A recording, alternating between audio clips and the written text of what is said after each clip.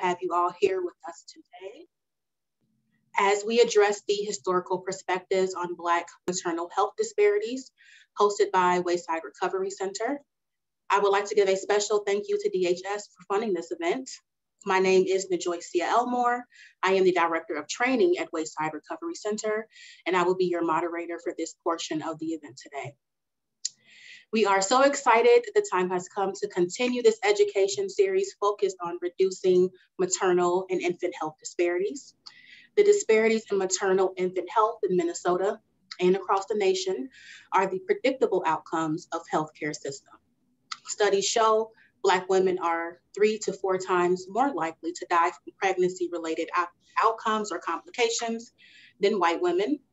In fact, there is a dark history associated with the origins of OB/GYN care in this country, and the legacy of that mistreatment continues down to the present day.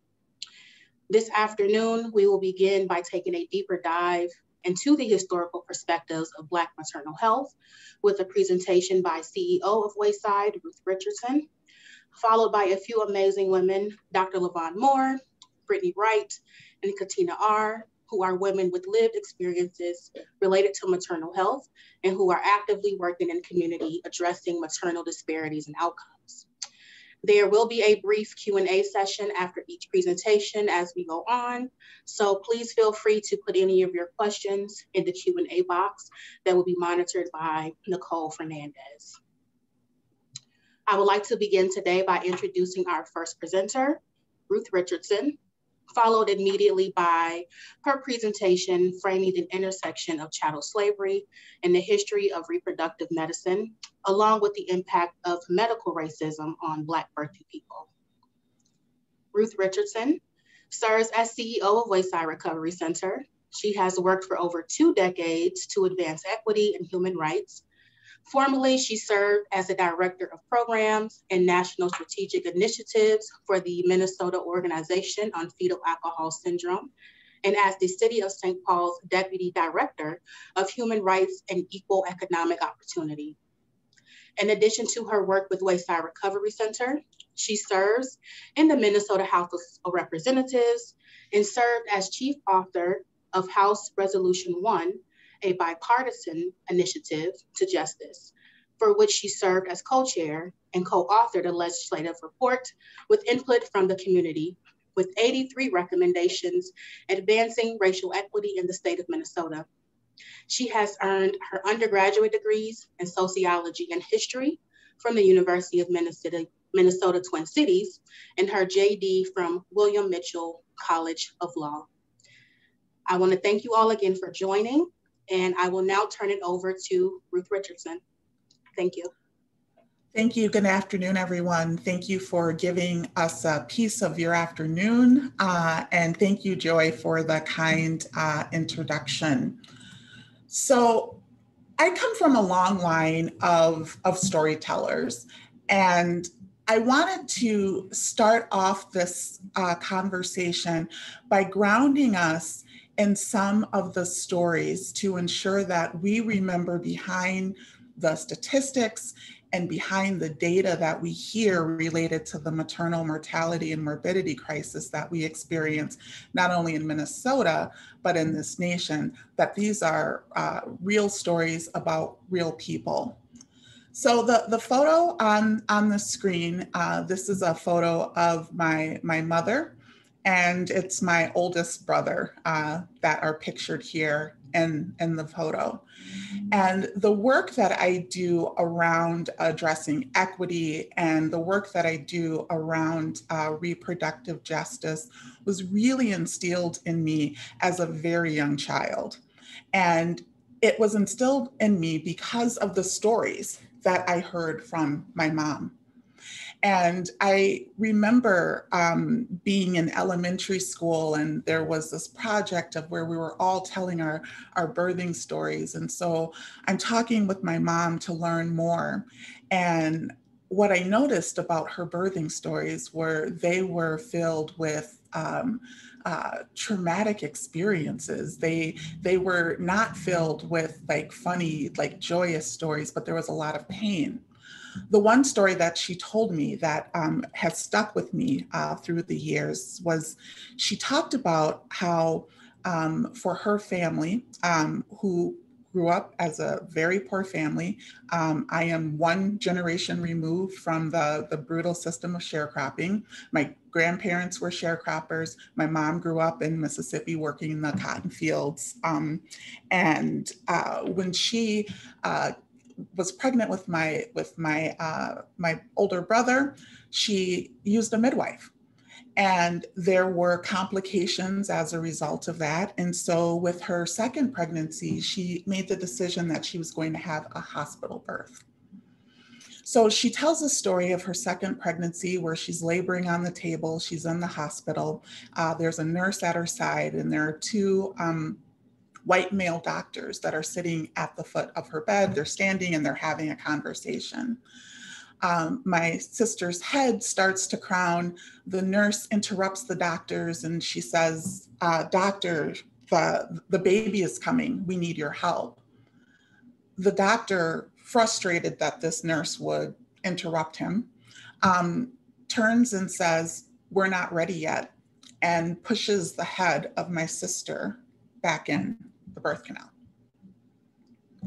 My mom said that the pain that she experienced in that moment was excruciating. And she said it was the worst pain that she had ever experienced um, in, in, in her lifetime. But she also said something that was very, very chilling. She said, You know, that pain actually probably saved my life because if I had had the ability to get off the table at that moment and retaliate, I would have. And as a Black woman in segregated Mississippi, retaliating against a white doctor would have likely ended in death. And when she told me this story as a little girl, I was I was I was shocked by it and I was telling her how I couldn't believe that this happened to her. And what she shared with me was that what happened to her was not a unique experience. And she talked about the fact that she had uh, other people in her family and other women who had experienced similar treatment of having the baby's head pushed back in the birth canal. The um, beautiful woman pictured here is my, my late auntie Katie um, my mom's sister. And Katie had the exact same experience happen to her, but in that circumstance, her daughter, um, her daughter died as a result. And with that, it became very clear as she was talking about this um, mistreatment that she and her sisters and her mother and other individuals had um, had uh, been a part of was something that was it was common it was not it was not exceptional so when i heard those stories and as i came of age and um, had my my own pregnancies i expected it to be different. I expected different outcomes. And when I began to experience similar issues of not being heard by medical uh, professionals, um, being mistreated, uh, the stigma, being looked down upon, not receiving the care that you need when you're asking for it. I had my own experience and thought, wow, not much has changed. We're still seeing the impacts of, of, of racism as we think about uh, maternal health care. And I wanted to believe that surely for the next generation, it was going to be, it was going to be better.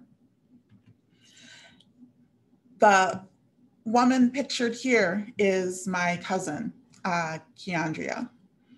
And I want to, before I tell you a little bit about her, I want to share um, uh, this video that um, uh, shows the excitement that she and her husband had when they were expecting their first uh, their first child.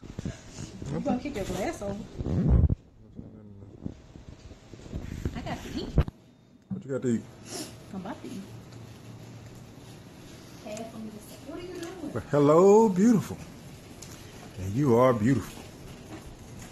You must be Daniel's mama. Daniel, this is your mom. Today is April 20th, 2015. Lord willing, you'll be here in another three months. Every one week. And what? One week. Hi, I'm your dad. Your mom is very pretty. See? And there you are. Right here. You're More. like somewhere in all this. More in this area.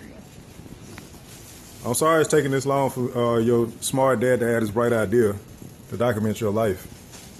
But I never had these things because I was born before cameras were created. In the dinosaur ages. Yep. Smile for your son. Do you have a, a special message for Daniel? Nope. Let's eat. Your mom's trying to feed you. and yeah, on me. All right, talk to you next time. So, um, a little over a month and a half after that video was uh, taken, uh, Keandria went into early term labor. On June 27th, uh, she delivered her son, uh, Daniel, and she began to have complications uh, shortly after that birth.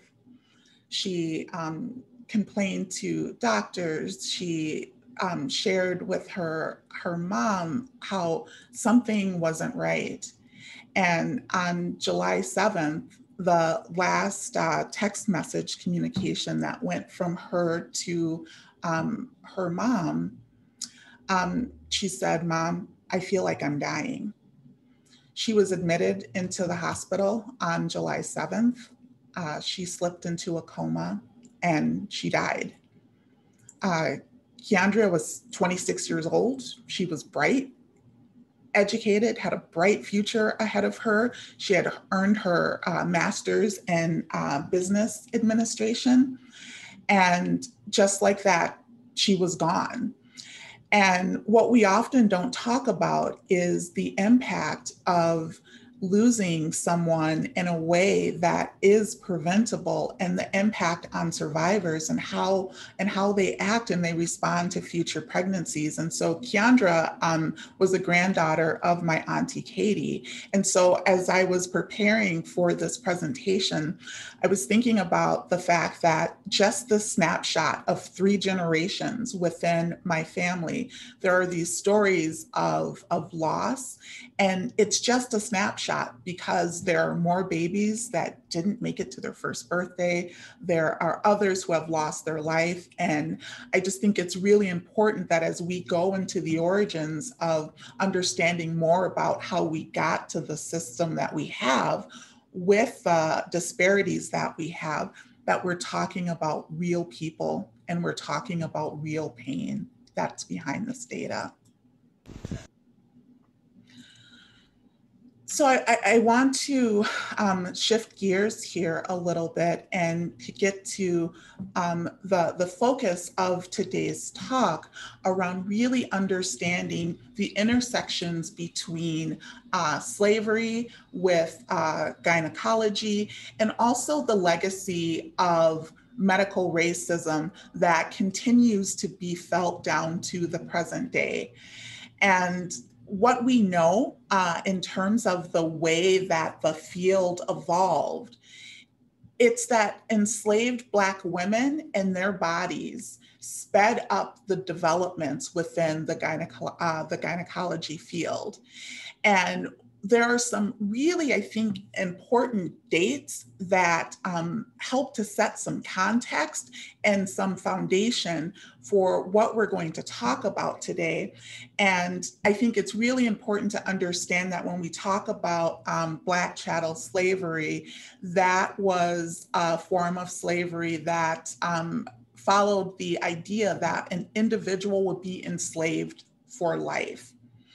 And back in uh, colonial times and colonial uh, Virginia, there was a law passed in 1662, Partus Sequitur Ventrum. Uh, that law basically, um, uh, that Latin translates into that which is born follows the, ro- uh, follows the womb. And so basically, it was a legal doctrine that uh, basically said the status of the mother would determine the status of the child. And that was important for um, Black women who were enslaved because it basically meant any child born to a Black enslaved woman would have the uh, enslaved status as well. And this was a major departure from common English, English law because under English law, the child status always followed the father. And even if um, a child was born um, illegitimate, there was still this idea that the father would be um, responsible uh, for any offspring uh, financially. So, with this idea that the mother's status determines the status of the child, it also meant that. Um, white slave owners could father babies and have no um, and have no economic um, uh, qualifications or requirements thrust upon them because the status followed um, the, the mother. And this really ties into the fact around the economic engine that um, that fueled slavery because there was a, a necessity that began that tied increasing the in birth the birth rates of enslaved black, black women because in 1808 the African slave trade was banned in the United States. And so, with uh, the international slave trade uh, what that really meant is that if this was going to continue as a system, it was going to need to continue through uh, the birth of Black babies to Black enslaved uh, women. So, as we think about the building blocks of the structures and the institutions that were built, they were really designed to increase the birth rates of enslaved Black, black women and to ensure healthy uh, births because that was the only way to continue to have the exploitation of labor continue. So I want to pause for a really quick moment. I want to take a quick poll. Um, and so the, the um, I want to give you all a, a, moment to answer this first uh, poll question. Are you familiar with Dr. James Marion Sims' experience, experiments on enslaved women, Anarcha, Westcott, Betsy, Lucy, and nine other uh, uh, unnamed enslaved women and girls? I'll give you all a moment to, um, to vote there.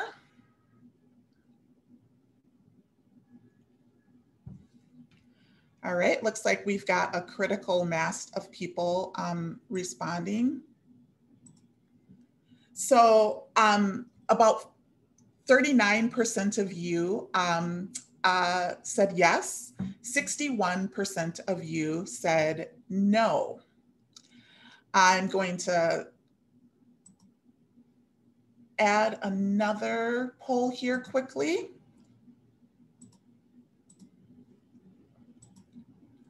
So this is a true or false question. And for those of you who are familiar uh, with Sims, um, this may be uh, something that you know about. For those who are not familiar, um, you may have a, a question about this as well, but true or false? Dr. Sims was the architect of the misguided race-based medicine notion that Black people did not feel pain the same way that whites experience pain.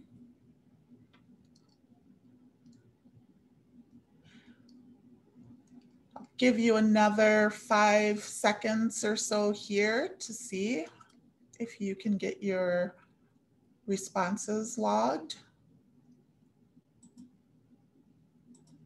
Okay. So um, this is what our attendees believe. So 95% um, uh, of attendees say that that is true and 5% say that that is uh, that that's false. So before we get into talking about Sims a little bit more, what I really want um, one of the major takeaways to be from today's talk a lot of people have really um, framed uh, uh, Sims as, you know, this idea of being a medical monster with the brutal experiments that he performed on Black women without um, anesthesia. But with what we know, Sims comes into what was already sorting, sort of an existing medical complex.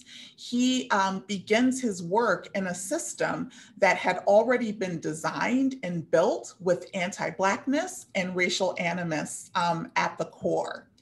And it's really important to understand, just like in the very beginning when I talked about the way that um, my mom and my aunt um, were, were treated in, in segregated Mississippi, um, Sims was not exceptional in terms of the of his beliefs around uh, Black people, around Black enslaved uh, women, or when you look at his treatment of enslaved women as well, because prior to him, there was this legacy of medical racism that already existed. And by about the 1840s, when he comes into practice, there's already two centuries worth of racial science that is out there. And it's been built upon a foundation of ideas about Black inferiority, um, and also a lot of other misconceptions about race. And so when we think about um, some of those ideas, things like, for example, that Black people have biolog like they're biologically different to white people, Black people have thicker skin or they don't experience pain, and that Black women don't experience pain um, in childbirth. Those are ideas that didn't start with Sims, and they also don't end with him either. And it's really, um, you know, chilling and shocking to know that even today, as we look at medical students, residents, and doctors, these ideas about Black people being biologically different to white people continue to persist, uh, persist down to the, the, the present day, including the ideas that Black people don't experience pain in the same way um, as, as white people. There's ideas that Black people's uh, blood coagulates more, um, or that Black people age more slowly than white people. Um, has come out within the last couple of years in terms of looking at the understandings of, of again, medical school students and residents and also doctors um, are also, uh, there was also people who believed that Black people had tails. And this is today. We're not talking about something that happened a long time ago or within the 19th century. And so it's really important just to understand that these ideas don't start with Sims, they don't end with him, but they influence um, the work. Uh, they influence the work that he has done, and it, it continues to have impacts down to the present day.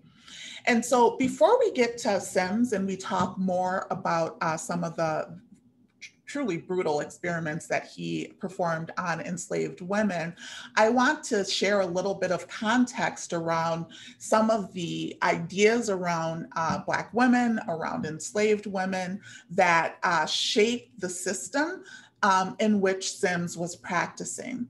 So these are names that you may not have necessarily heard of before. Um, you know, many people have heard about Sims, but people might know less about uh, folks like Georges uh, Cuvier. Um, and Georges uh, Cuvier, he's really known for his experimentation on the cadaver of Saartjie uh, Baartman in the 19th century. And although this happens in France, it has huge implications within the US, and we'll talk about that within a moment.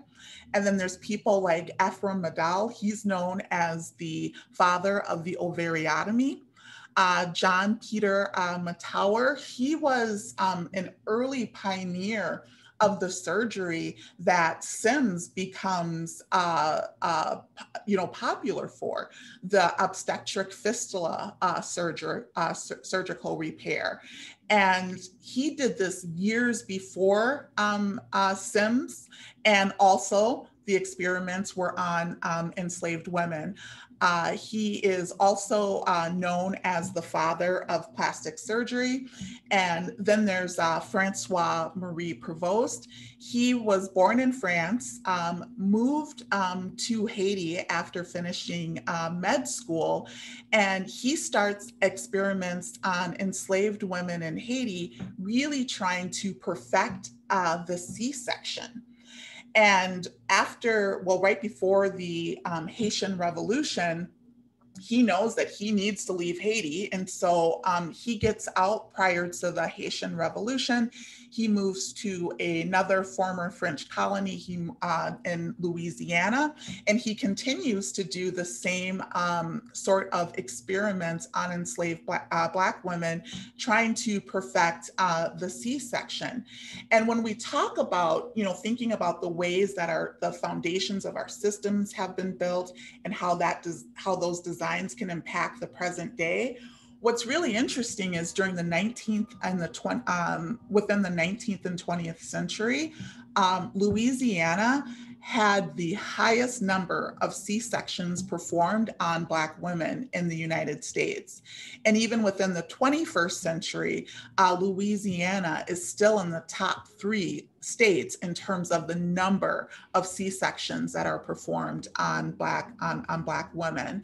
And so it's just really important to understand that when we uh, talk about Sims and his work and his experiments on Black women, that he is a cog in the wheel of a system that had been developed and it had been built on a foundation of, of, of racism and that legacy is, is, is continuing uh, to this day. So I wanna spend a little bit of time talking about um, each of these individuals in turn because they had a huge impact on the way that OBGYN care within uh, the United States um, developed. So um, Georges Cuvier, uh, although his again his research began in France, it had a really lasting impact um, in in America uh, because his treatment of Saartjie Baartman really created a template for mistreatment of enslaved Black women as the field of gynecology was beginning to um, develop. And um, many of the ideas that were already available within kind of the medical system complex came through with his um, experimentations on, on Baartman because it was were inferior um, it was about seeing Blackness as being pathological. And with that, it also, there came these thoughts about Black people as other, like not as humans. Um, being compared uh, to to animals and within an OBGYN context that lens and that frame that template for mistreatment really begins um, with Cuvier so Cuvier um, and all of the white medical men I'm going to talk about today, they all were slaveholders. So um, Cuvier, he gains uh, possession of Saartjie Baartman um, about three years before she dies. She's about 22. Um, she passed, uh, she dies at 25. Um, there's speculation around the cause of her death, um, and there was speculation that it could have been from an alcohol uh, addiction. So um, Baartman was born in uh, South Africa. She is a she was a member of the Khoikhoi people. And Baartman was sold several times um, uh, into slavery, including to an individual um, who was an animal trainer and had a menagerie or what we would consider today a zoo. And so he uh, displays um, Baartman in this, uh, this zoo um, along with animals. And uh, what, what, what happens is you have a situation where Baartman is brutally robbed of her humanity She's treated horribly. She's uh, sexually exploited. And all of this occurs because she looks different. And the way in which she looks different is, I mean, basically she um, she has a, she has a big butt, and within the, the medical realm, her condition becomes uh, pathologized. Um, they give it a term, they call it steel, steatopygia, um, basically a condition that results in the enlargement of the buttocks. But if you look at Baartman in relationship to other Khoikhoi uh, women, there was nothing that was truly exceptional about um, about about Baartman, but the way that she's treated again this idea of you know black people as other this image from the 18th century shows how that othering could play out in terms of of the, the the gazes that you can see here. And there's this whole idea at one on one hand you can see sort of this attraction um, to her. And on the other hand, there's also this like repulsion um, to her as well.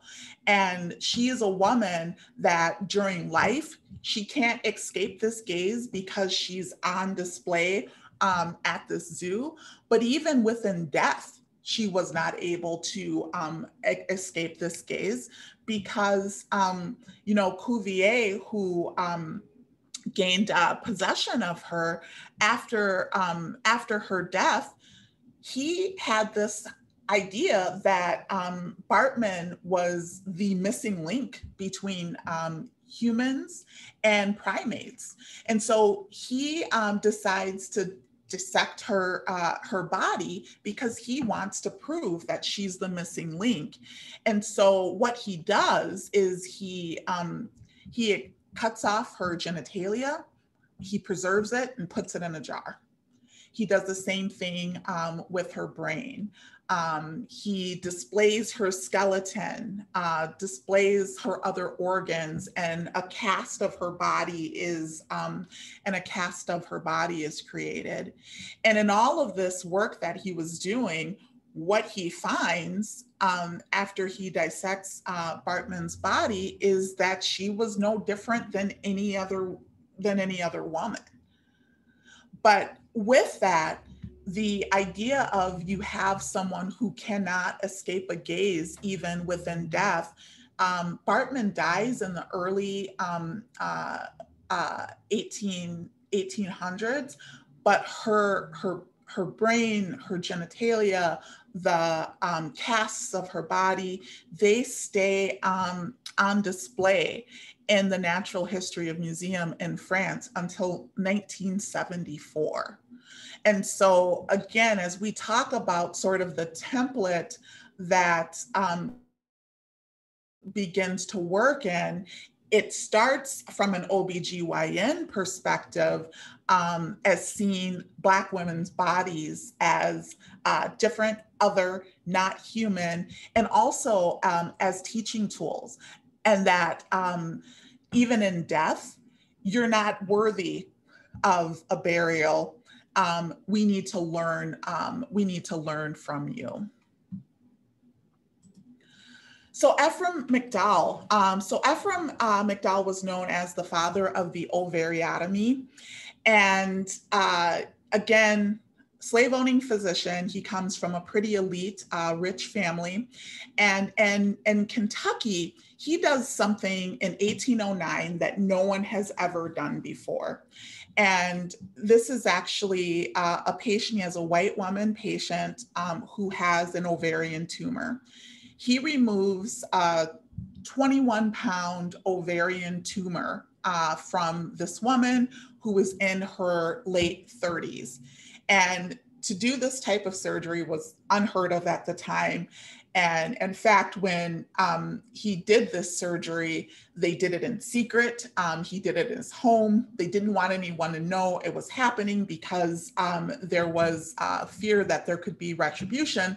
But um, this woman survives, um, uh, surprisingly, and um, ends up living in, into her early 70s. And it's considered to be the first successful um, abdominal surgery in the Western uh, in the Western world. And McDowell, when this when this occurs, he he wants to perfect this because he's like, hey, if we can perfect this, um, this could help put uh, this new nation uh, of America on, on, on the map. So he begins to collect cases. And the cases that he collects, it's enslaved Black women. So he's leasing um, Black women from other uh, slave owners um, within uh, Kentucky. And he gets uh, a group of five uh, women. Four of them are enslaved Black women, and one is a Black uh, woman who is described as a freed woman. And he, um, they all have uh, tumors. He does the surgeries. Um, all of them survive except uh, there is one woman um, who dies. So between 1809 1817, he does these five uh, surgeries and perfects this procedure. So 1817, he's very excited to publish his work, again, thinking that this is going to be something that puts America on the, on the map. And the quote on the screen is from uh, Dr. Uh, Johnson, who was a British doctor and when this, um, when his uh, research comes out, um, he's derided. People are, are, are, are making fun of him. And what Dr. James Johnson says is that, well, all the women that he operated on in Kentucky, except one, uh, he describes them as negresses. And he says that they will bear cutting with nearly, if not quite, as much impunity as dogs and rabbits. And so part of this idea of believing that um, Black people don't experience pain and that Black women don't experience pain really come up in these comments from Dr. Johnson. And this was, um, this was uh, published in the Lancet, which was a leading uh, medical journal uh, of the day and is still a leading medical uh, journal now. And the, the fact that there's also this comparison of Black women with like animals, dogs and rabbits, um, animals that breed quickly, they breed in litters. It's like it gives you an idea of how um, uh, the medical establishment that were made up of white men were seeing and were viewing um, Black enslaved women uh, and their bodies. Um, moving on to John Peter uh, Mettauer. So his work was really um, in around the 1830s, again, from a very elite family, also um, a, a, slave uh, owner as well. He did the same uh, sort of obstetrical fistula surgery that Sims um, is known for. And for those who aren't familiar uh, with um, obstetric fistula, it's basically caused by a traumatic birthing experience. So when there's a prolonged birth, and you're talking about a, a, prolonged birth, not not talking about hours. At this point, you're talking about days um, as you have uh, an individual trying to um, expel the, the, the, the, fetus, it can cause friction. And over time, that can create holes or tearing. And while the condition itself is not uh, life threatening, it does cause things like incontinence. And for an enslaved woman, um, to experience an obstetric fistula, it would actually result in her um, an, a, decrease like in the value because again we're talking about uh, this work in the time of, of slavery and that you would look at uh, black bodies and you would assign uh, a dollar uh, value to it. There was also social ostracism that would be a result of having this condition because it would cause incontinence. And so um, the smell, the infections, those could be things that could uh, lead to social um, rejection and, and isolation um, as well. And so um, Mettauer uh, does a race-based uh, uh clinical trial on you know, trying to uh, uh, fix or cure um, obstetric uh, fistulas in one, uh, an enslaved Black woman. And then he also does the surgery on a white woman as well. And when the surgeries are completed, um, he tells both of the women that you need to be, you need to rest because when um, you'll rest and and then uh, hopefully the words he uses is that you'll be uh, cured. So the the white woman rests, and he uh, talks about her in his uh, research as being cured. And then he um, goes on to talk about the enslaved Black woman and the fact that he does um, eight clinical trials with her. He goes, he does this uh, procedure eight times, and he gets really frustrated at the end because he says, um, I've done this eight times now, and the Black woman is still not cured. And what he does within that moment, and you know, this is within the American uh, uh, Journal of Medical Sciences. His his words are are captured. He says the patient could have been cured in a matter of time had she stopped engaging in sexual intercourse.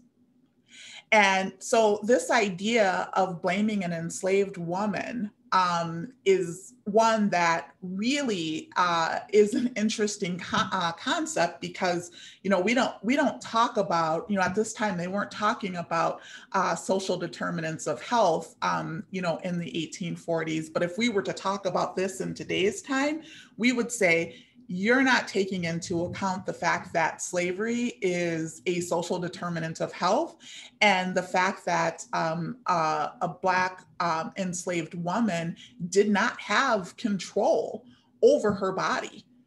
She could be forcibly, uh, she could be forcibly raped with no recourse uh, for that. Um, there is, there was no sort of understanding around the fact that even as an enslaved Black woman going through a clinical trial, this idea of you need to rest. Um, when enslaved women were going through these clinical trials, it did not mean that they got to actually rest and, and not work the fields or in the homes of the individuals um, who owned them. So um, next, I want to talk a little bit about Sims um, and you know Sims is someone who is known as the father of American gynecology. Um, and he gets that uh, he gets that moniker um, after after death. But Sims um, is is definitely influenced by the individuals who came before him.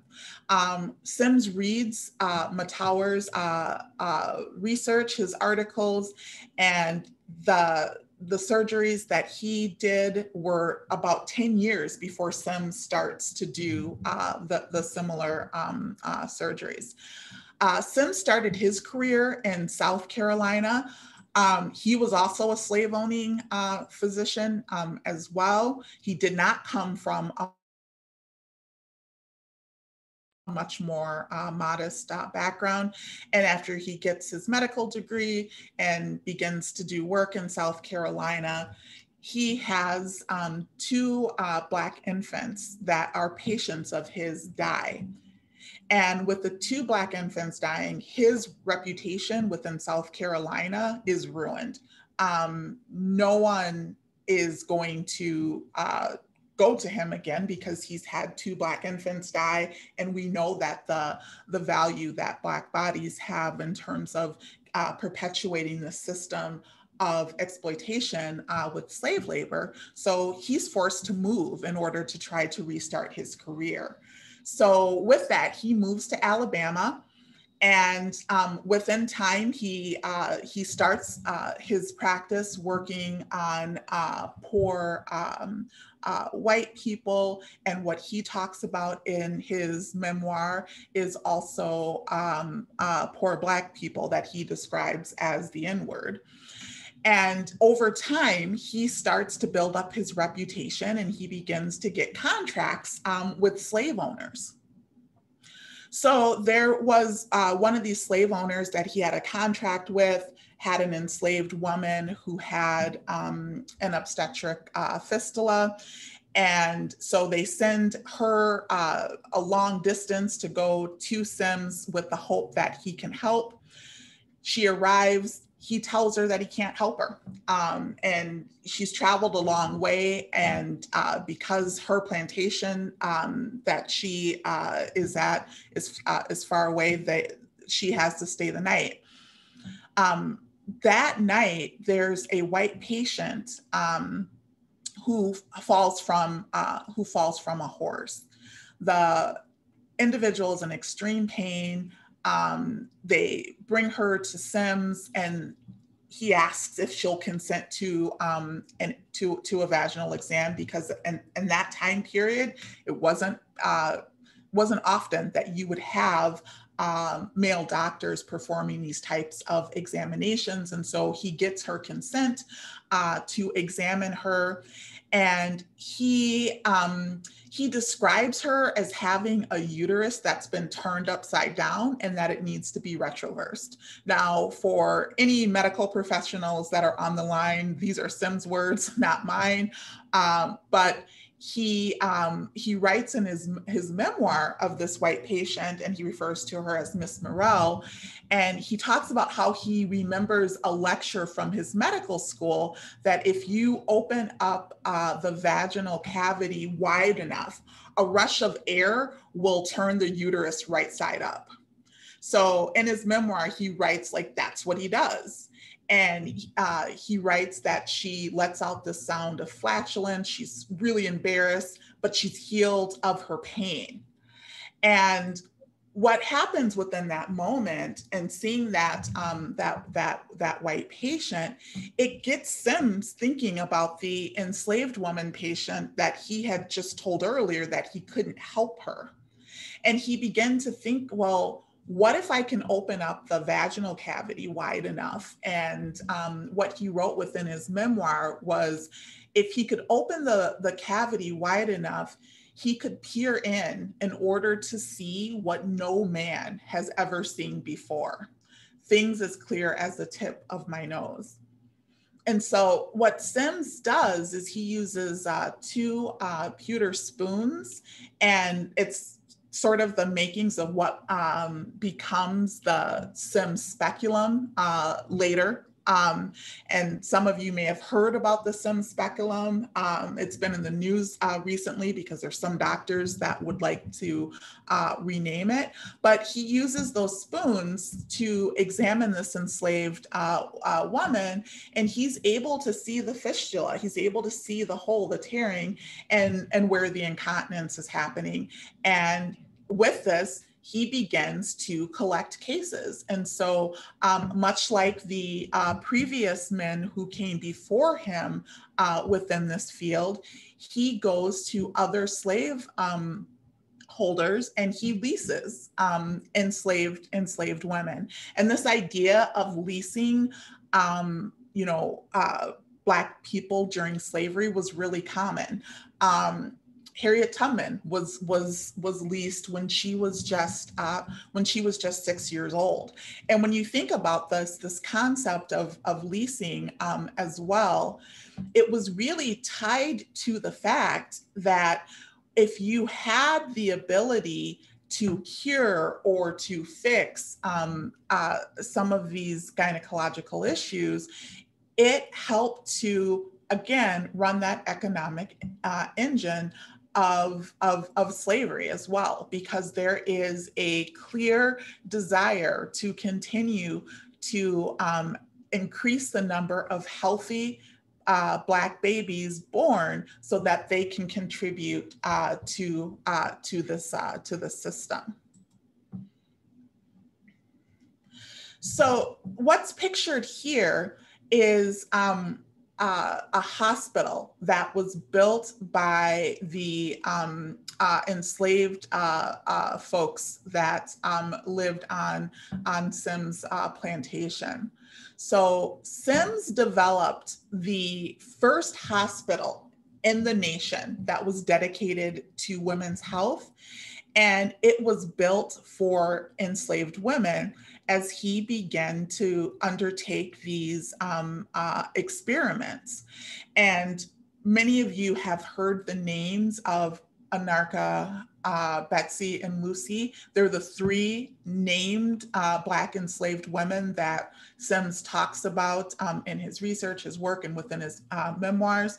But there are also nine other unnamed um, enslaved women that lived and worked together within this hospital between 1844 and 1849. I will say that this photo is um, was actually taken in the 18 um, in, the 1890s, which was much uh, uh, past that date. But this uh, this um, uh, slave hospital uh, was in Mount Meigs, uh, Alabama, and it was the first hospital in the nation that was dedicated to women's uh, to women's health. And Sims, in his memoir, talks about it as a hospital um, uh, as as as well. And what's really interesting within between the between the time of 1844 and 1849, when Sims is uh, doing all of these um, these experiments on on Black women. Uh, some of you may have heard um, that Anarcha, for example, um, she endured more than 30 surgeries, you know, without um, anesthesia. The first couple of years, the first two and a half years that Sims is trying to um, perfect this uh, procedure and this surgery, he's failing. He's failing miserably. And he has white male surgical assistants that are working with them. And um, they quit. They they they they they walk off. They they no longer want to uh, work with him and what is often not known is that when he lost all of his white male surgical assistants he began to train the enslaved Black women who were also patients to serve as surgical um, assistants. And I think it's also worth noting that um, Sims did not succeed and perfect uh, the um, obstetric fistula uh, uh, surgery until he was surrounded by a team of enslaved Black women who were working as his nurses and as his surgical um, uh, assistants.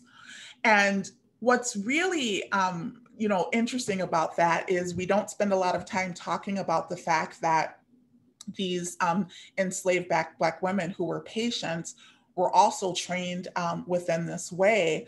But in 1849, um, after the experiments ended, you know, Sims, his his uh, profile explodes. He publishes his work, um, his career takes off, and he moves to New York and he um, founds the New York um, State Hospital for Women. And what's very interesting is that that hospital uh, that's founded by Sims after all of these experiments have happened within Alabama, are talked about as the first hospital for women in the country. So this is where we start to see um, Black women from um, the, the narrative in terms of understanding the roots of, of uh, OBGYN care. And what's also i think very uh, helpful to understand and also interesting as well is that um, the this erasure of black women like for example saying that the new york hospital for um, that was set up for white women was the first hospital and and, and you know forgetting about um, all of the enslaved black women who were part of his hospital within alabama in Sims' writing, in his memoirs, in his published uh, articles and research, he doesn't erase Black women um, or the fact that they were enslaved from his writing. Um, but when you begin to uh, look at the photos, like the photo that is, uh, there's a clip of it here. This is actually a commemorative article talking about uh, Sims all of a sudden you have the Black enslaved patients, they're replaced with a white patient. You have the enslaved Black nurses. Um, uh, replaced with a, a, white a white nurse. And you also begin to see these ideas of the politics of respectability coming in um, as well and sort of rewriting history because you see here like the woman is clothed. I mean she's got you know she's even got shoes on here.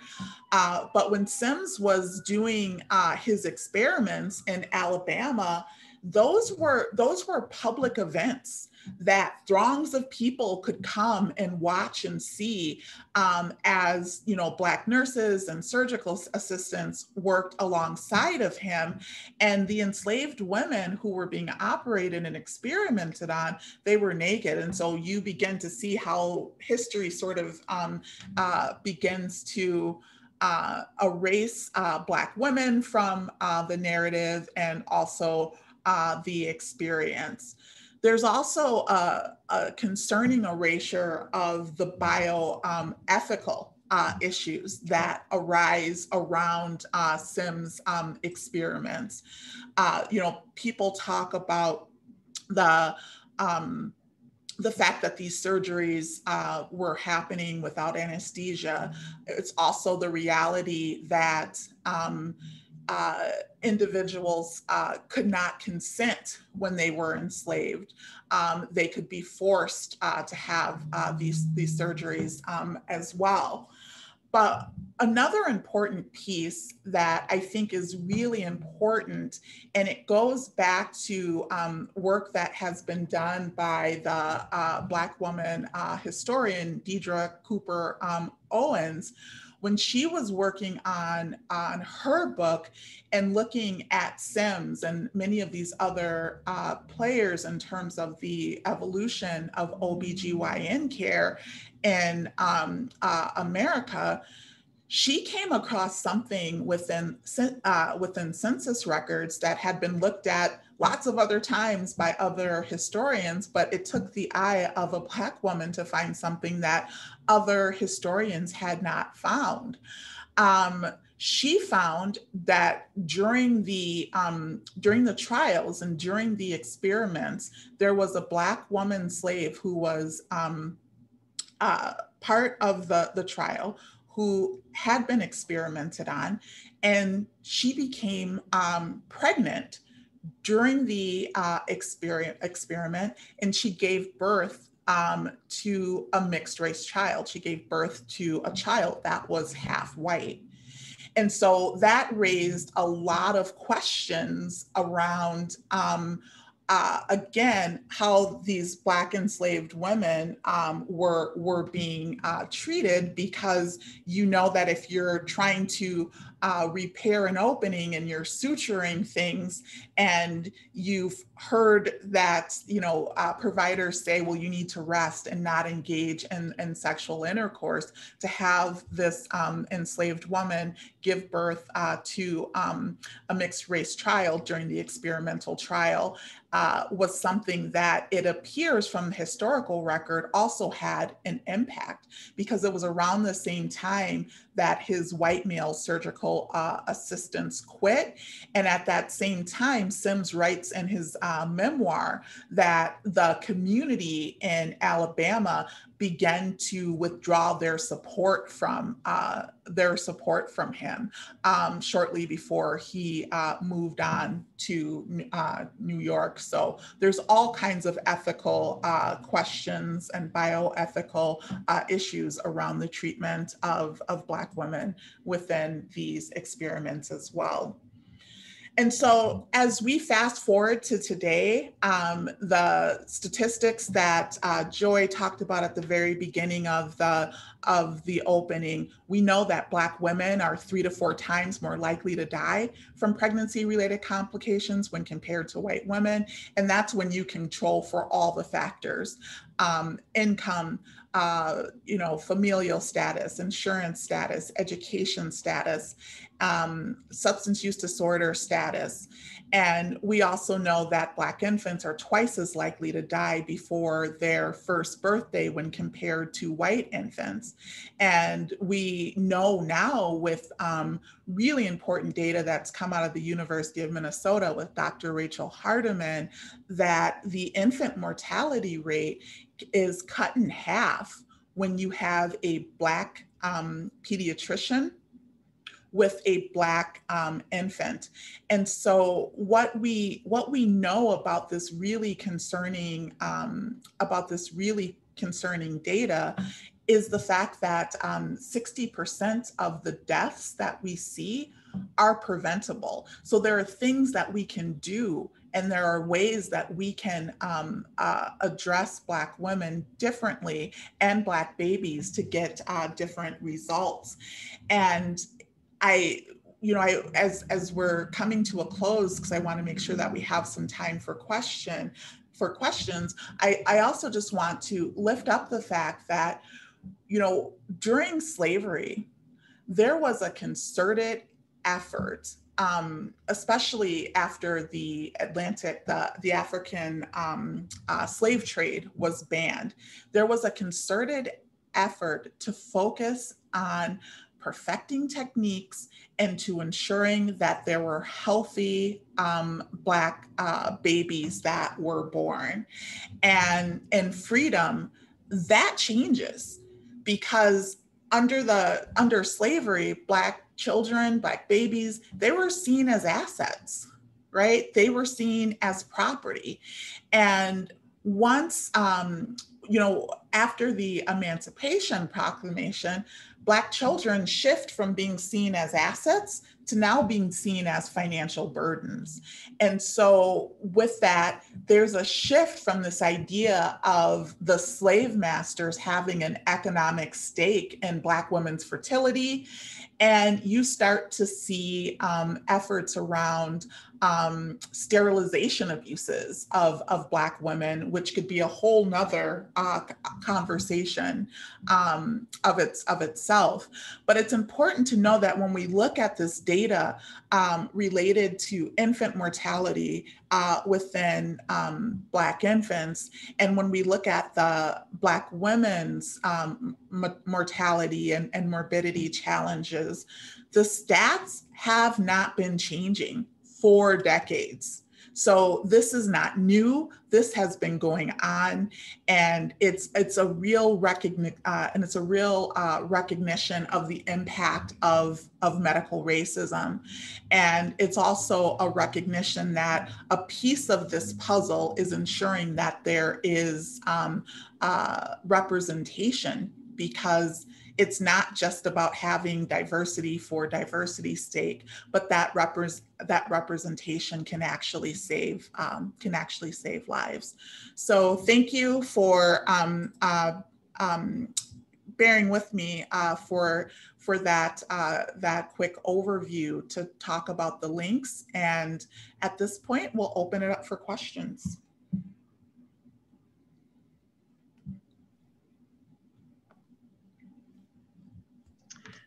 Ruth, we have one question in the, um, the chat for you. What do you believe has changed or improved in Black maternal health? So I think um, in terms of what has improved, the data is still the data. So we still see um, we still see that Black women are, are three to four infants twice as likely to die uh, before their their their first um, birthday. So the data is unchanging, but I, I do think that there is uh, some hope in the fact that there are lots of states, uh, cities, counties that have begun to recognize um, racism as a public health crisis and have begun to talk about these disparities in a way that's actually accurate. Because when we think about um, a lot of the myths, um, and uh, a lot of the misconceptions and many times when there are issues involving women, our first thought process is to blame women, right? So this whole idea of of this enslaved woman not being able to heal, it's like, well, if she could just stop having intercourse, she could have been healed, but she wouldn't she wouldn't stop that. And and so um, we've gone through this idea that, well, the reason that we have these deep disparities is because, you know, um, uh, black women are overweight or um, they they're poor or they don't have housing. And the the research has really demonstrated that you can control for all those factors right? Look at beyonce knowles look at serena williams. You can control for all of those things and it becomes clear that this is not something that we're going to be able to buy our way out of we're not going to be able to educate our way out of it. And so that knowledge and understanding about the fact that we need to address racism as a public health crisis is, is, is something that gives hope. But just all that reminder that uh, hope is not a strategy.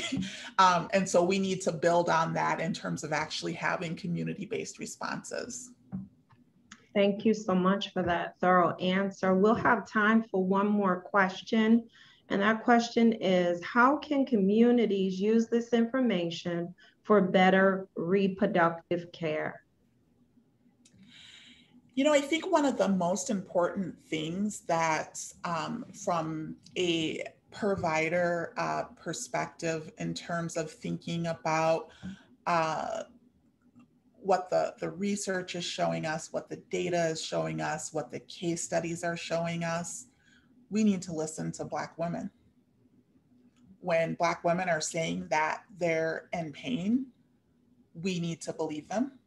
Um, we talk a lot about how there is dis like how the Black community has distrust of the medical establishment. Um, but the medical establishment has a lot of distrust of the Black community um, as well. And to understand that so many of these deaths that have been preventable, um, they could have been prevented by taking a step back and listening to Black women when they're asking for help. Well, thank you, Ruth, um, for such a powerful presentation and also sharing such personal and powerful stories with us today. Um, it was really enlightening and really great response from everyone, it looks like in the chat. Thank you, everyone, and welcome to part two. I hope that you had a moment to maybe grab water, uh, use the restroom, and um, take care of yourself. Um, welcome to part two of today's event. This portion will feature powerful stories about lived birth experiences, a short presentation, and a brief Q&A session. My name is Nicole Fernandez, Community Liaison and Project Manager of Maternal and Infant Health at Wayside Recovery Center. Najoycia Elmore will assist in monitoring the chat and the Q&A portion.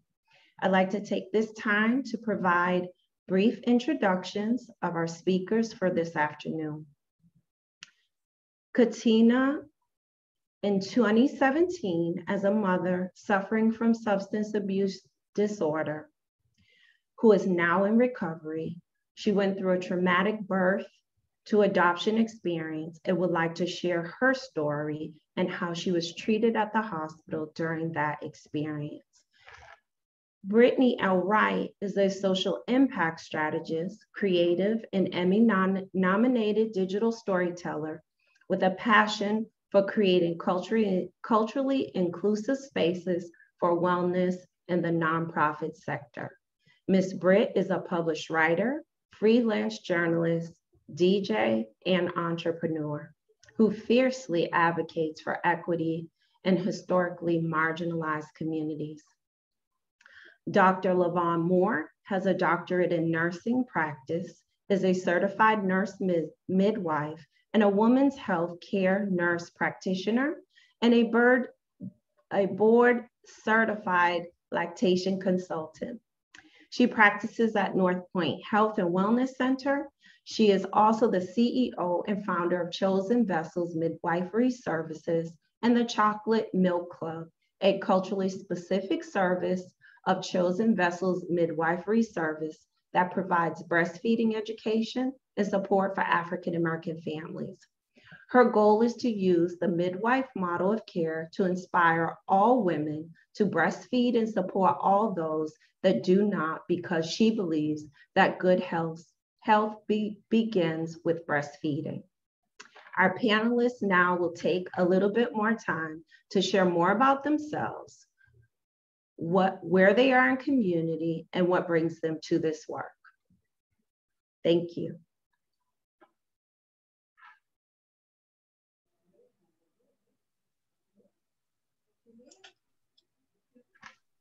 Should I go ahead?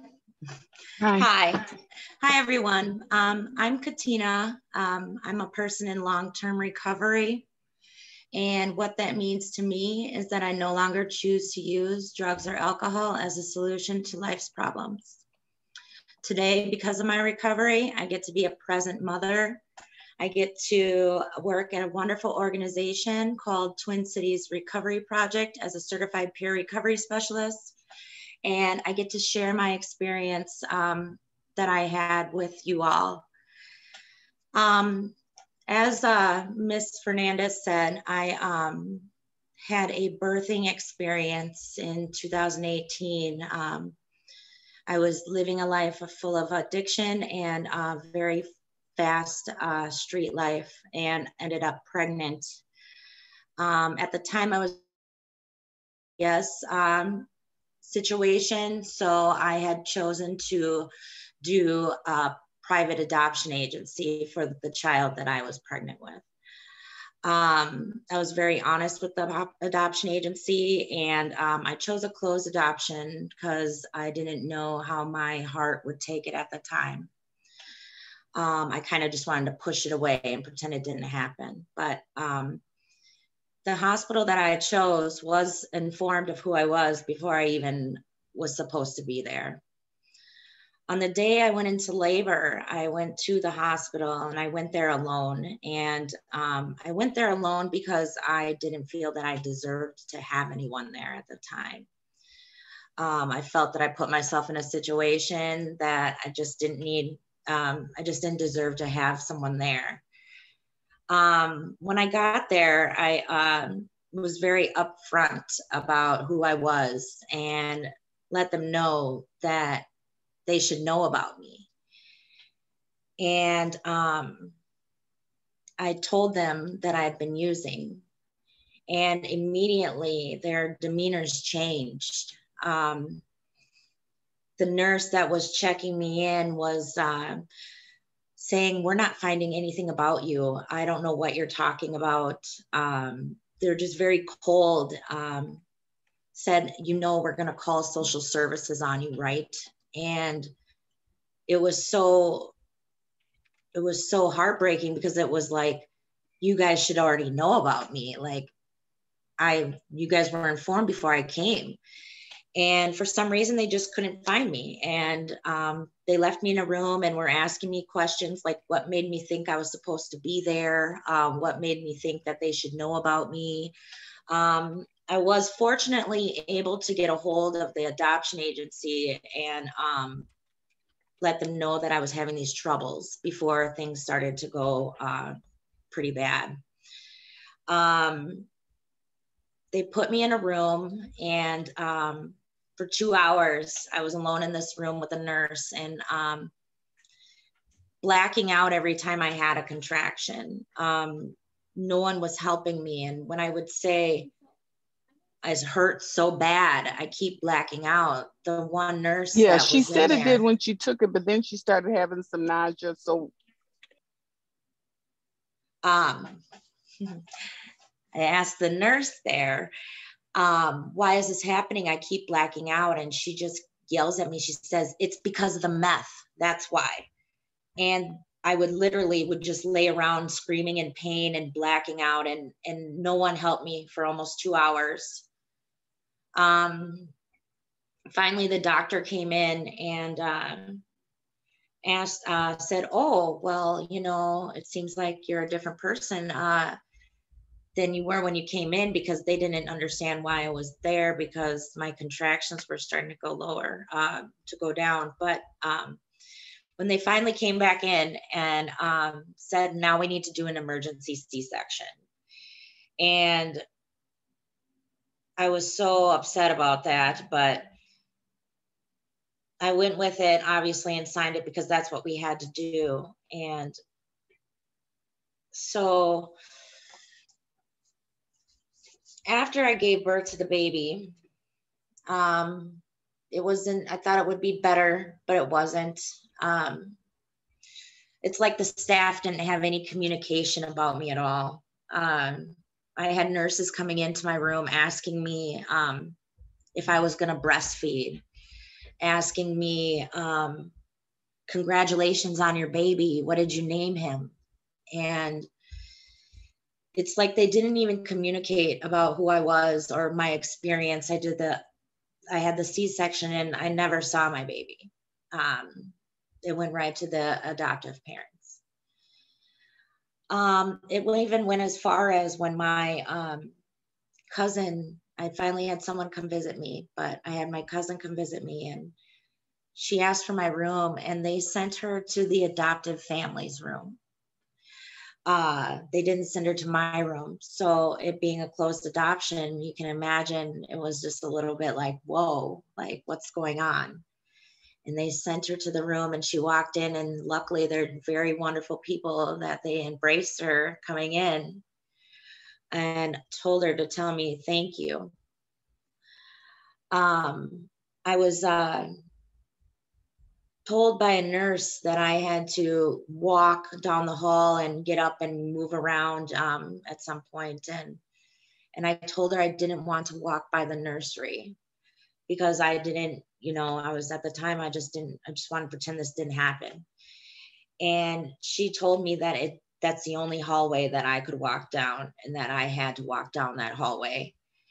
And so I'm walking down the hallway past the nursery, kind of like trying not to look, but looking. And um, it was just a very, very um, traumatic experience, especially to do it alone. Um, but yeah, that's my story. And uh, it's the first time I've ever really shared it with anyone, but it truly, at the time, it took me a long time to realize that um, I didn't deserve to be treated like that.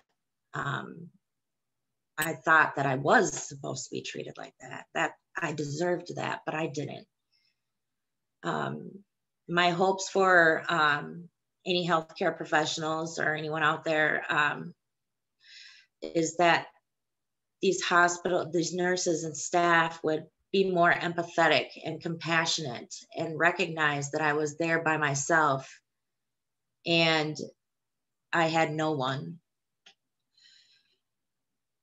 But yeah, that's all. I'm now I'm a better person. Um, I'm working on my adoption and I'm just trying to move forward. And I'm grateful for experiences that I've had because now I get to share them with people like you guys.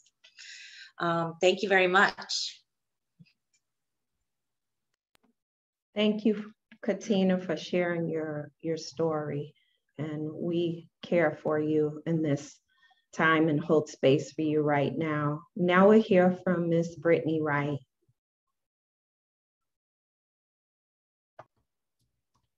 Wow, that was such a, a powerful um, and um, uh, beautiful and, and heartbreaking experience. Thank you so much for sharing, Katina. Um, hi, everyone. My name is Brittany L. Wright. Um, I am a social impact strategist. I have uh, a company uh, called Gray Matter, in which I've been doing work within the Black maternal health space. Um, my company has been in existence for six years now, but we made a, a pivot into health equity um, for a few reasons. And, and so we've been at that for about two and a half years now. Um, the pivot came for a few reasons. Um, one, I became a new mother and wanted to be at home with my baby. And so I just wanted to pivot our business structure and to go under a new name. And, uh, you know, the gray matter in my body had been shifting so much. And I was very curious about the point of connection uh, within my own body. Um, and the gray matter within my body. And so we we rebranded with this um, health equity focus of, of doing social impact strategy work. Um, but beyond wanting to be at home with my daughter, I was having some unique health experiences in my postpartum journey. Um, I am originally born and raised in the Twin Cities. Um, I've actually known uh, Dr. Moore pretty much my entire life. Uh, and when I was seven and a half months pregnant, I moved across the country to Boston, Massachusetts. Uh, I researched for the last trimester of my pregnancy, essentially, uh, which medical institution was the least likely to let my baby and I die. Um, and as you all probably know, there is no algorithm to help you figure that out as a Black mother. And so I had amazing care here in the state of Minnesota. Um, and uh, just was so anxious about if I would survive childbirth. And I, it got to the point where um, I had to just come to terms with the fact that uh, bringing this baby forward was worth risking my life. I knew the disparities about women who looked like me uh, and babies who um, also looked like me, and it was horrifying. Um, still, I went forward and I found um, you know, the best hospital I possibly could. And, you know, at the time I was married and my husband had great insurance. And, and so we, we went through the process and, you know, in spite of his successful career, my successful career, our insurance, our socioeconomic status. Uh, when we walked into that hospital, we were just another Black couple. Uh, they did not care um, or provide us with any high level of care, even just as human beings. Um, and, and ultimately, uh, I paid delivery, um, I just felt like something was wrong. And I was supposed to deliver at a birthing center, which was across the street from the hospital. And um, I told my husband, just take me to the hospital. I, something is not right. When I got to the hospital, um, I got a wheelchair and they wheeled me up to the labor and delivery ward. Uh, and immediately a nurse asked me to get out and walk and I explained, you know, I'm in pain, I can't. Um, and she said, well, we need to see just how bad your pain is. Um, and so that was the first moment when something went off in my head, something is not right here. Um, so they then um, forced me to walk from the the hallway into the bed um, and i you know asked for an epidural because i felt like something was wrong um, and they simply diminished it to like well you're just not used to childbirth so you know nothing is wrong uh, but something was wrong. And in fact, in about my 20th hour, hour of labor, I developed a fever. Um, I felt very physically cold, which led to convulsing, um, which led to chills, which led to convulsing, and I lost control of my body. Um, my ex husband called for a nurse to come and help me, and they were able to give me some medicine via IV almost immediately. And that essentially saved my life. Um, and I am um, so thankful for that experience um, because it led me to this journey that I'm on today. Um, I was stable, um, stable enough to deliver, although I still had the fever. My daughter was born with the fever. And when I went to my six week postpartum checkup, I was told uh, that everything was fine. Um, you know, you had some complications during labor and delivery, but everything, in fact, was not fine. Um, I returned to that same medical institution 56 times within the first year of my daughter's life with a host of complications uh, that did not exist before I became pregnant.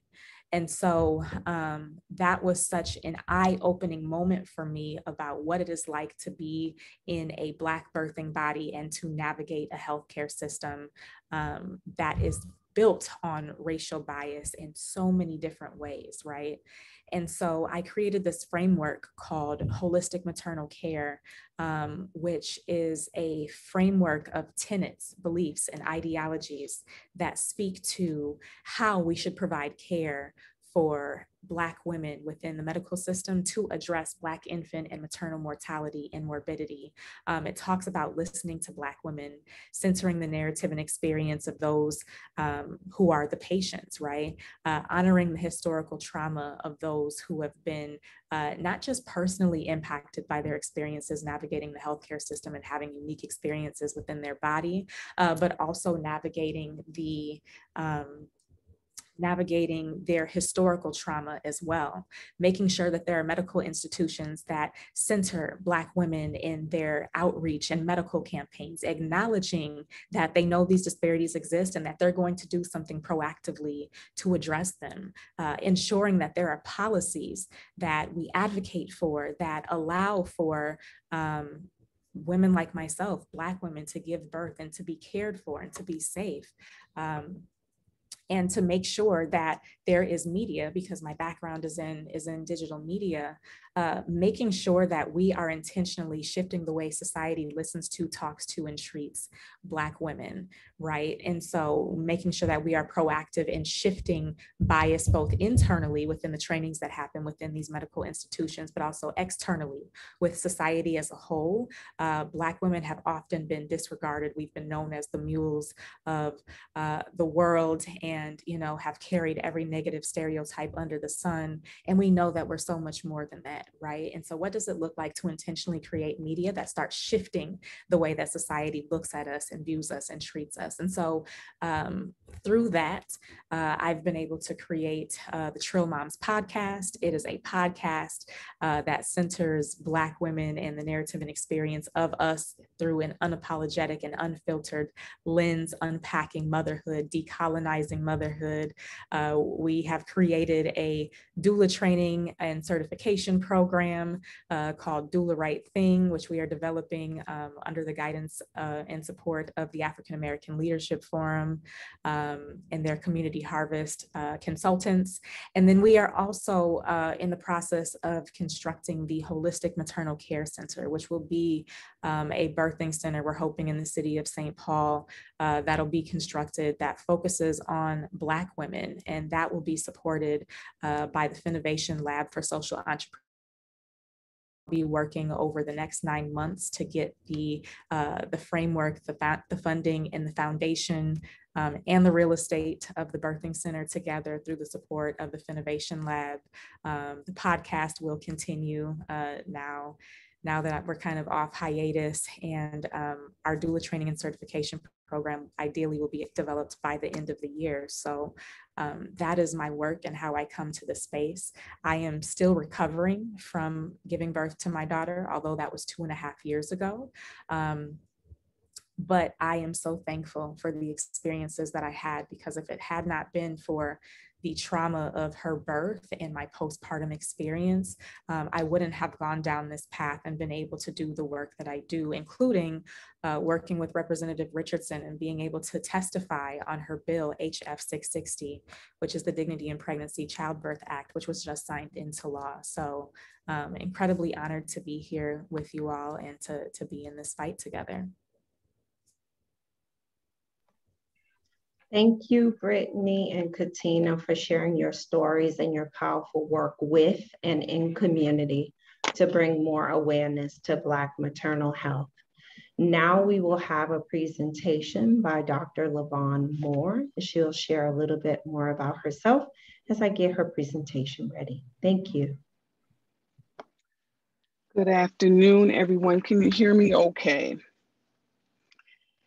It's a pleasure um, to be a part of the panel today. It certainly was wonderful to hear um, those powerful stories, the work that continues to be um, done in the community, and um, also reinforces the need for us to connect um, and know what other people are doing and um, what's happening in the community so that we can spread the word regarding resources as well as um, avoid duplication in services. So just awesome presentations today. Good to see Brittany. Um, um, she's all grown up now and it's just awesome to see that. I am Dr. Um, LaVonne Moore. I am a nurse midwife, um, a board certified um, women's healthcare nurse practitioner and lactation consultant. And um, actually um, newly um, um, admitted fellow in the Academy of Certified Nurse Midwives. So it's just awesome to be with everyone today um, and to be a part of this discussion. Um, I was asked to share a little bit about um, my work in my um, experience around this topic. And so I'm going to just start off with, you know, I just really appreciated the historical perspective that was provided by Ruth Richardson. It was so rich in information. Um, just talking about the, you know, the history of the medical establishment and the medical apartheid is what it reminds me of in our conversations. Um, and so I just want to share a little bit, and Nicole, when you're ready, um, slide wise.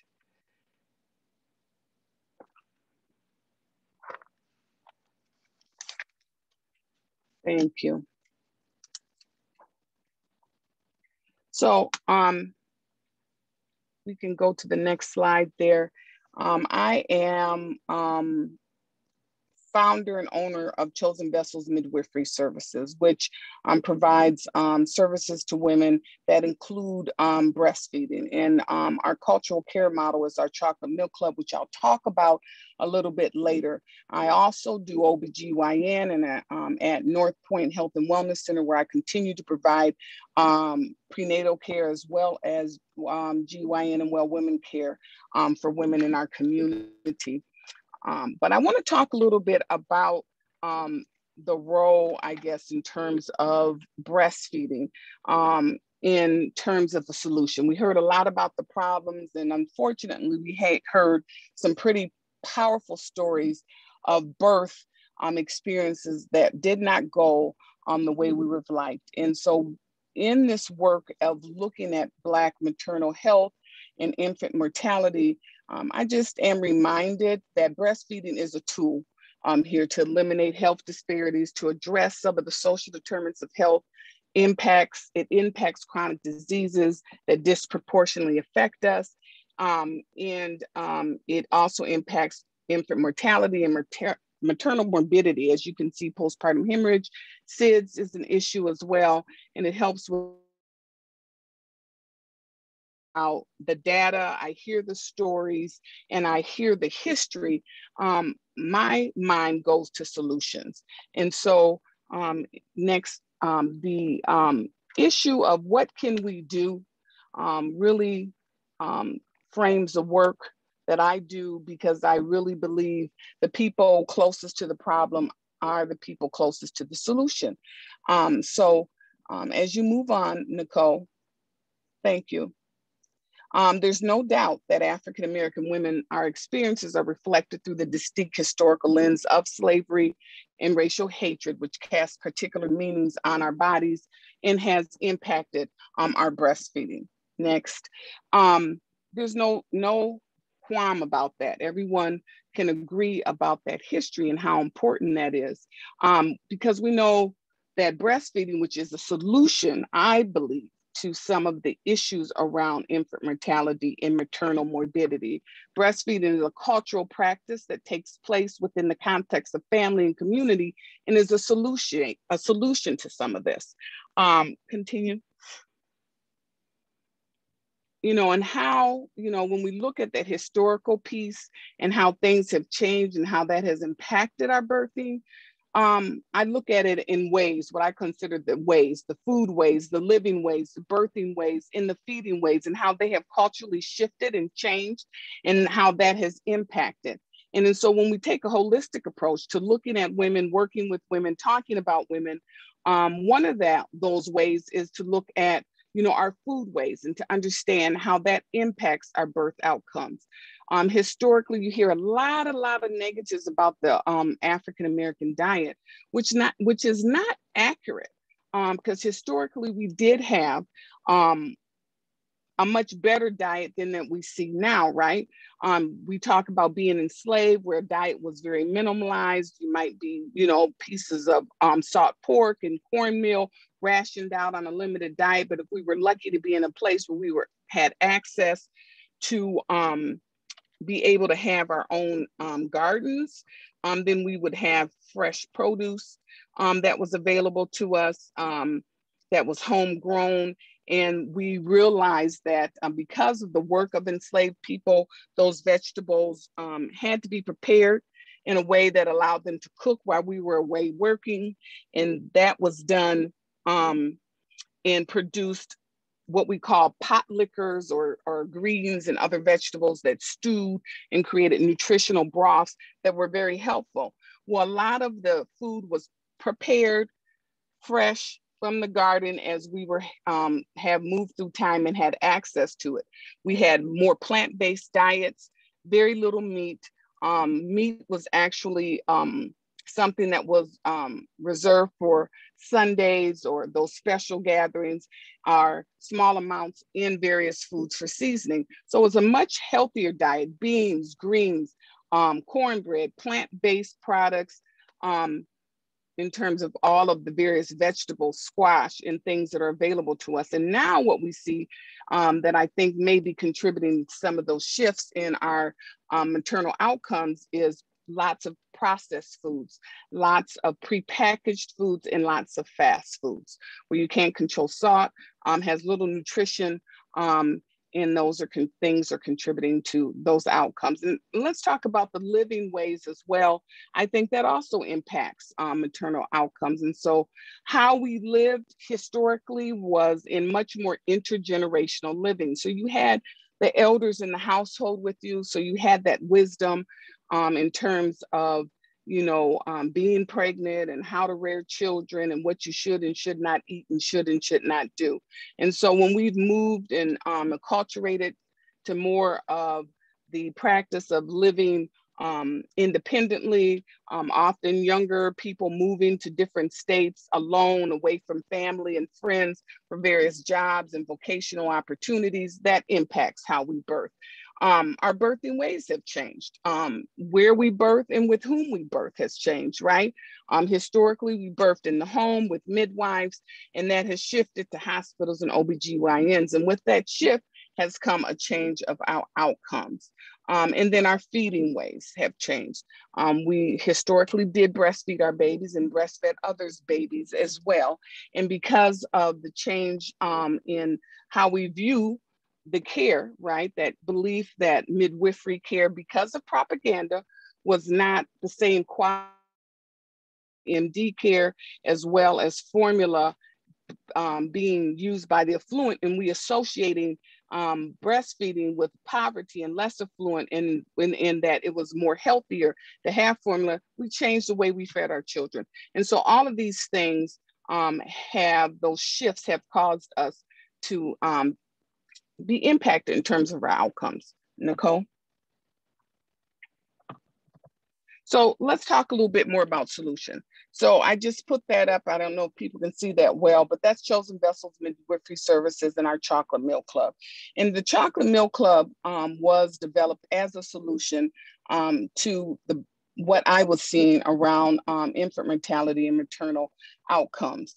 Um, I was concerned about what can we do in our community um, to improve our um, birth outcomes, to improve our um, um, infant mortality outcomes. And so one of the things in the research that I looked at was breastfeeding. Breastfeeding, uh, we had low initiation rates and low continuation rates of breastfeeding. Breastfeeding is, as I indicated early in this presentation, an, a wonderful tool that addresses so many of the issues that impact us. And it was an underutilized tool um, that one has of their own. And, and so I developed a program called the Chocolate Milk Club, which is a support program for African American women in the community to support them in breastfeeding. We want to help women to initiate breastfeeding and to continue to breastfeed as long as possible. Because what I found is that um, because of the lack of role models, because of our change in our breastfeeding ways, we did not always see women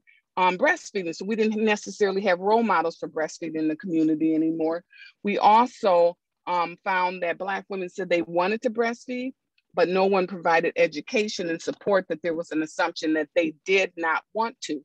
So the goal of the Chocolate Milk Club is to, to provide that support for women, regardless of their ability to pay. Um, and that support includes um, membership within our club, okay, um, regular um, gatherings and support in various ways, providing support services and support circles that could be breastfeeding, education, it could be other issues that as we address the whole woman. Um, we have monthly Mix It Up Mondays. We have um, um, our annual chocolate milk club event to promote breastfeeding in larger community as well, so that you can see all this chocolate milk coming together that women who often are isolated and in silos can see there are more breastfeeding people out here. So there are models for breastfeeding out here that we can um, connect with. And we also um, offer annually. So if there's anyone out there today that has someone that they would like to nominate for our Rhonda Spears White Award, um, we'd really appreciate hearing from you as um, we um, provide a Rhonda Spears White Award yearly to um, activists in the community um, who are continuing to do the work of reclaiming the cultural practice in our community of breastfeeding and helping women to do so. So the Chocolate Milk Club also has peer support. We do home visits to see women because that was one of the things that is very important to see where women are breastfeeding and they're breastfeeding at home. So how can we assess their needs um, over the phone, um, which many other programs do. So we do home visits and provide that continual support to them. Um, if they are currently breastfeeding or if they were breastfeeding in the past, they still have the opportunity to participate with us because we believe that the women who right under we've kind of used i shouldn't say kind of but we use the ubuntu philosophy women who have breastfed in the past are our spokespeople they are ambassadors to help spread the word in the community um, so we have our breastfeeding ambassadors who are still involved with us, who are former breastfeeding moms. We have our breastfeeding peers, as I um, indicated, and we also have the Chocolate Milk Council. And the Chocolate Milk Council are women. Um, I see Sierra's here, Sierra Williams, Tanisha um, Williams, um, Hadijah, are women who are breastfeeding mothers currently or breastfed in the past who assist um, um, with and run the Chocolate Milk Club um, collectively. So they are part of the council that helps me determine programming um, and other things, support things that we need for our moms and support our moms in the community. So it is a for us, by us solution to some of the things that we're talking about today as we're remembering that breastfeeding is a tool to eliminate health disparities. Um, it can address social determinants of health it does uh, impact chronic disease that disproportionately affects us. It can um, be an important part of the solution for infant mortality and maternal morbidity. We still know that postpartum hemorrhage is the number one cause of death in the world for um, pregnant moms. And we also know that we are concerned about SIDS, and for some reason, there is an increase in SIDS, and breastfeeding is a tool for that. We also are concerned about mental wellness for moms. So, postpartum Depression is a very present and real problem and that um, breastfeeding is a mediator for that. So it can help with that.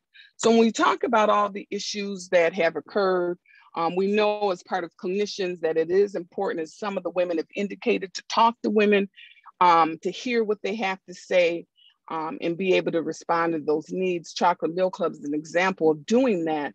Um, and so um, I just wanted to um, share that because we really believe that chocolate milk does a baby good, that it's important for the health of the mom and the baby going forward to prevent um, infant mortality and address maternal morbidity. So that's just kind of my overall spiel um, regarding that. Is there any questions? Thank you, Dr. Moore, and thank you all of our speakers for sharing your powerful stories, your wisdom with us. And now we will turn it over to Ms. Najoyce Elmore, who will assist moderation for questions. Thank you. Um, I would like to follow up and say thank you for your time today, Dr. Moore, and really addressing how breastfeeding, especially for the African American community, can assist in reducing a lot of these health disparities that we are seeing. Um, one of the first questions that we have is what advocacy skills can we instruct Black people to advocate in the care of their delivery?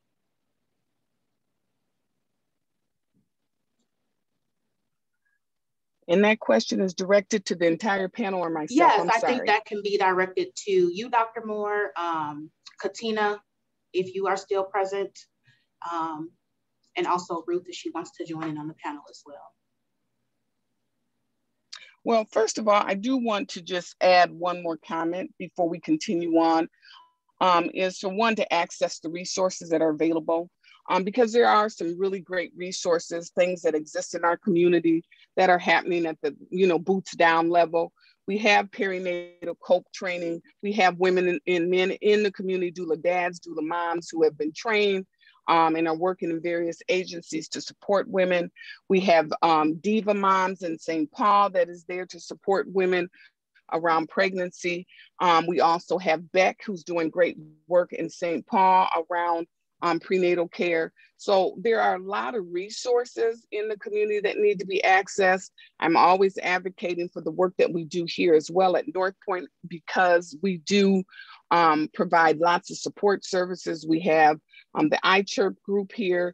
We also have, because we have um, um, resources, um, we, in terms of human resources as well as medical care, we're kind of a one-stop shop campus. So we do have um, food shelf and other social services available for people who need them. And then we also have medical care. And then we have OB care coordination care in the medical area. And we have um, iChirp, who has the empowerment program for pregnant moms, African American moms specifically on the human resources side. So we have um, a large um, mix of resources available in that one site, but in the community, um, the Cultural Wellness Center, there's all kinds of things happening. So this, this is really great because we get an opportunity to hear about some of the things that are new and emerging um, as well as some of the things that already exist. And it's a great way for us to connect so we're not duplicating resources that we can also, as African Americans, band together to create and generate more revenue for, for um, or the resources that exist. Because a lot of us are doing this work because we have a passion, we've done our research around this work, and we're coming back and serving our community regardless of the ability for our community to pay. But, it, but when it comes to funding, that doesn't always happen. So one of the things in terms of moms, I'm going to get back to your question here. That was a long way around it. Um, of re of self advocacy is that one we need to show up for ourselves, um, and I really appreciate the stories um, that were shared because we do need to advocate for ourselves. We do need to do our re research and do our reading and research. We do need to understand that um, our outcomes are better um, when served with people who look like ourselves. Um, also, we need to we need to show up for appointments. We need to show up and read and and and get engaged. Put some skin in the game in our own care. I guess my thing is, do not expect anybody else to care more about your health than you do. Um, and then as providers, um, you know, we have to slow down and listen um, and hear what people are saying. And as a provider of color who does OBGYN, one of the things that I'm always um, thankful for, for is the honesty of women that um, I serve in the community and their openness um, to share their lives with me and allow me to enter into this special moment in such a very intimate way. Um, but we do um, have a great opportunity to impact people's lives in the role that we have because we do have a long period of time to be with them um, as a provider. And I think as doulas and other support persons, um, it's really important because of the length of time that we have to get to know people, to be able to, to help and support and provide education um, is really important. Thank you. I have a, another question. Well, I'll say, does Katina or Ruth want to respond to that question at all for moving forward? Um, a question for the chat, and this is also directed at you, Dr. Moore, um, are centered around your thoughts um, about the effect and lack of paid leave during the first six to 12 weeks after a baby is born um, on initiation and continuation of breastfeeding. Well, there is certainly a need for our um, policies to change. And so we do need to be involved at the legislative level to help some of that happen um, so that we can get paid leave for mothers in this country. Um, because it is a challenge to return to work, um, but it's not, um, it does not prevent women from being able to breastfeed, but they do need extra support. That's just one of those challenging times. It's kind of like that initiation, getting people started, right? Because breastfeeding, as I always say, is natural, but not always easy. So they need that support. We need to make sure during that critical first couple weeks period where people often can fall off that they don't. And then the next critical period after they have um, begun breastfeeding successfully is that return to work time. And because many women of color often return to work a lot sooner, we talk about six weeks, that's kind of a luxury, right? Many women have to return to work sooner. Um, and so just having the support in place um, to help them during those critical times is really important. So all those support people that are around, right? They have doulas, they have medical providers, and all of them need to make sure that they are connected in their community with support that is going to help them to continue um, in the postpartum period with successful breastfeeding. So it's that continuation. And the research has proven if you get a good start in the hospital, if you're going to breastfeed, see a, a, lactation consultant in the hospital before you leave.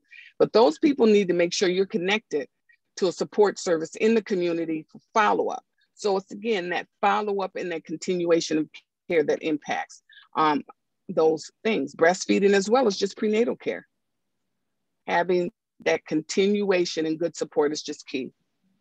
and employers, thank you. I want to say one more thing is that employers, um, there's laws that um, are in place for breastfeeding to protect breastfeeding in the workplace, but they're not always um, supported by the employer. But make sure you ask your provider for a letter to send to your employer um, there are the laws that you can pull off, and we can attach it to that letter to send to your employers. You're, you're entitled to breaks to breastfeed. You're entitled to be able to breastfeed in a place that's not a toilet, um, and those kinds of things. So um, talk to your providers and talk to your support people. You know, the um, the doulas in the community, um, they are trained in basic breastfeeding education and support. So talk to your support people. The key is to get people connected with support and the resources that they need to have a healthy pregnancy and postpartum period. And I would just add, you know, just building upon what Dr. Moore was saying, because she talked about six weeks being a luxury for most people. And I think that that's really important because when we look at the data that comes out of the Department of Labor, um, 25% of women return to work within uh, 10 days of giving birth. Mm-hmm. So there's a there's a huge segment of our society that don't have that um, that that ability to access uh, leave, and the individuals most likely to not have access to paid family or medical leave is uh, Black families, Indigenous families, and Latinx mm-hmm. families. And so when we think mm-hmm. about the safety nets that have been built, they have been built with uh, huge holes in them uh, mm-hmm. that uh, families that look like ours are often uh, falling through. And when we think about sort of that legacy of the safety net with holes, and we think about our systems working the way that they were designed, we can even look back even further, looking back in the 1930s when Social Security came into play because when Social mm-hmm. Security uh, came into play, it was designed to ensure that um, uh, individuals who uh, identified as farmers or domestics, they were not allowed to get Social Security.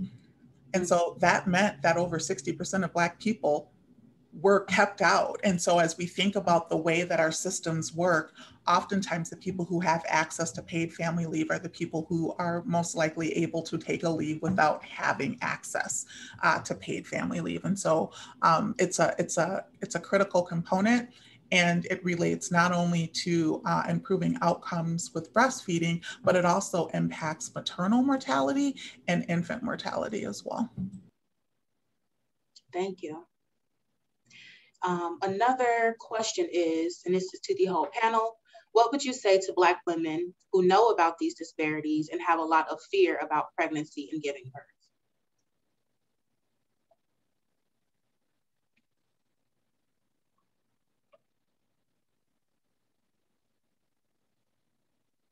I'll let the other ladies answer first.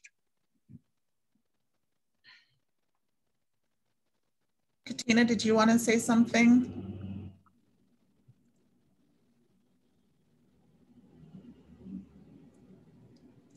I'm not Oh, sure. well. if she's- I don't, I'm not sure if she's having a problem uh, getting uh, un, uh, un, unmuted. So Dr. Moore, if you if you'd like to start, and I can.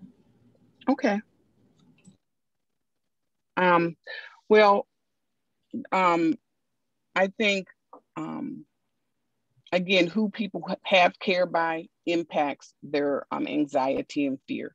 So I, I, I always tell patients, you know, I'm biased. I'm a midwife, and so um, if a woman is low risk, healthy woman, um, and does not need um, MD care, then one of the ways that I think will help to decrease that risk or that anxiety and fear that one may have is who their care provider is. So I think midwifery care is, certainly um, an important part of relieving that anxiety that women fear that women have is because it's a different philosophy and approach. Um, we need our physicians for high risk women and women that need um, intervention, but those who are low risk, healthy pregnancies, um, I think midwifery care, which looks at pregnancy as a normal physiological process, provides lots of education and support during pregnancy, and um, very on hands during um, labor and catching that infant as the mom is delivering right. We're just catching, um, I think is important. So I think that that type of care is important. Women engaging and, and reading, um, making sure that they have knowledge on board helps to alleviate fear as well. Thank you. And I know we're at time, so I can maybe close things uh, out for us. But um, uh, you know, I, I, think it's really important, um, and I know that uh, Brittany had to step away, but she talked about that fear and that that Mhm. she had as she was um, uh, expecting, and she's not alone in that. And when you begin to to to realize just just how um, the impacts of racism, how deeply and how painful it is, not just historically, because we can still feel that pain contemporary today. Um, what should be uh, a joyous event Mm-hmm. Has become one that's filled with um, so much anxiety and so much stress. And um, I, I was talking to my uh, my, my cousin uh, Keandria's mom uh, before this presentation, and she talked about with her other daughter and her pregnancy. She's like, I couldn't enjoy it because I was so fearful, and I was so afraid of what could possibly uh, of what could possibly happen and so we don't we don't talk a lot about that piece Mhm. but that is also work that needs to be done within our community and it's also just a, a recognition that um, respite and rest is a form of resistance having Mhm. joy is a form of resistance um, Mhm. and and and there has to be that work to find joy um, uh, in the midst of some some some really troubling uh, circumstances. So um, I know that we're at time, uh, and I just want to thank everyone for sharing space with us today and to have some difficult conversations, to hear some difficult truths, but to also hear some very important ideas and strategies. Um, and uh, Dr. Moore, I appreciate your um, your your uh, efforts and all the work that you're doing and the strategies that you're ensuring that those who are closest to the pain of this issue are closest uh, to the solutions. Uh, Katina, thank you for being so honest and for being so open and so vulnerable with us uh, today. And um, I just want to say uh, that you did not deserve that treatment, and your story is going to help others to know that they don't deserve that treatment either. So, thank you so much. And I can't leave without thanking Joy and Nicole for all of the work and all of the organizing that they did behind the scenes to make this happen. We're going to have um, uh, many more uh, topics coming out soon, so stay tuned. Uh, and we'll also make sure that you get uh, a copy of this uh, recording for you to share as well. Thank you all for sharing space with us. Have a good afternoon. Thank you.